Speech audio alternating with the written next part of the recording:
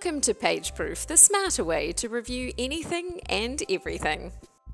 Did you know PageProof is a powerful tool to route Office documents, Google Docs, Sheets, and presentation slides for others to edit directly?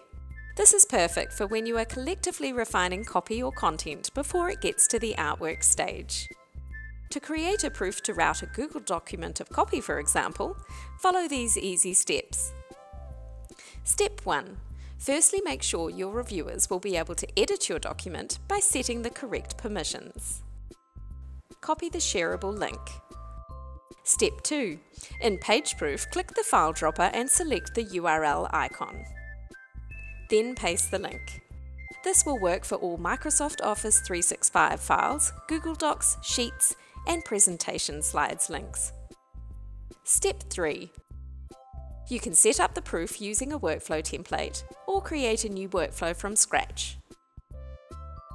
Tip: Set up your workflow so that you can ensure reviewers are editing the document in the order that you need. Once the proof has been sent out, your reviewers will be able to edit the document directly within the PageProof proofing screen. Edits will sync directly, so there's no need to save. They can also use the red pen to leave comments on the proof as well. We hope you like this feature, and if you have anything to ask us or any feedback you'd like to share, just send us a message via our in-app chat on your dashboard.